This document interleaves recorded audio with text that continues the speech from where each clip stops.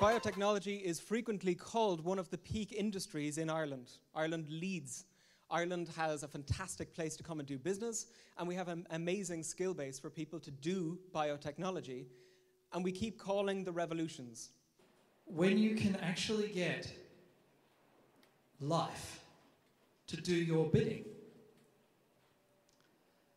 that opens up every possibility that we have ever technologically dreamed of. This is the IndieBio event, and it is the culmination of months of incredibly hard work by all nine teams.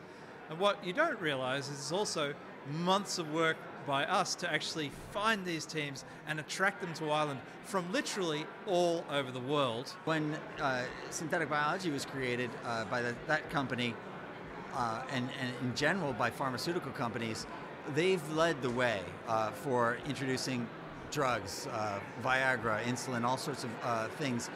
Now, what's happening with synthetic biology is the price point for creating, uh, for actually creating uh, these um, organisms that produce the outputs that you that you want. Um, these are now possible for instead of spending a billion dollars like they would have done it, for, for scientists, for entrepreneurs to be able to create it for on the order of hundreds of thousands of dollars. We are the microbe whisperers. The microorganisms that live in the soil right beneath your feet produce 70% of the world's antibiotics. That bag of dirt is now in the Smithsonian Museum because in it, terramycin was discovered. This antibiotic went on to save numerous lives and made the company that discovered it lots of money. VLT02 you'd see two things a molecular copier and a DNA computer. The copier copies. It amplifies the viral target up to a detectable level. This allows our DNA computer to analyze these copies and then gives a signal when the, if the viral target is, is um, present. So we're making beneficial changes to SAM production in yogurt bacteria. And our secret is our breeding strategy. We're developing new natural engineering methods. By utilizing the bacteria's natural DNA exchange system to modify itself, the bacteria are making precise changes to their own DNA for us, resulting in non-GMO strains. Saffion Biotechnology produces all natural, non-toxic and compostable bioplastics. They are called PHAs and originate from soil bacteria, which use them as an energy storage. Just three genes encode the three major allergens in the peanut that cause allergies.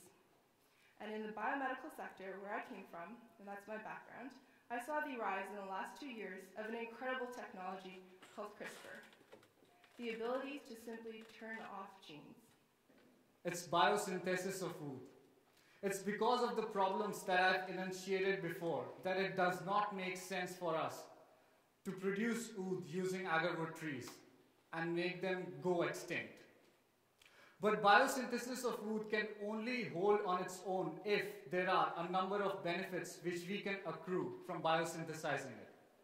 Limulex, a biosynthetic lamb completely short circuit the process, take the crab out of the equation entirely.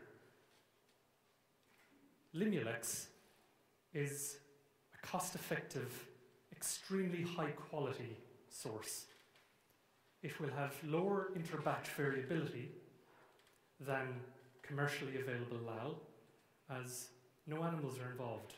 We're ready every single year now. We're trawling 33 million tons of ocean fish, mashing it up, and feeding it to farm fish.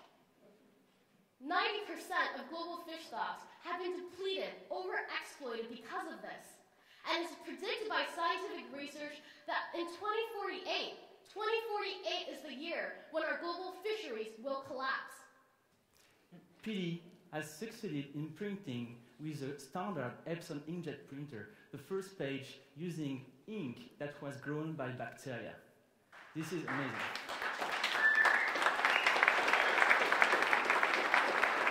Europe is really excited about biotech, but Ireland is the only place with the regulatory environment for people to actually develop a biotech. We have a really exciting uh, opportunity in Ireland to turn Cork into Carbon Valley to make this environment where biotech is celebrated, local biotech, not just foreign direct investment, but small homegrown biotechs that can then go out and bring value to Ireland and bring excitement to Cork.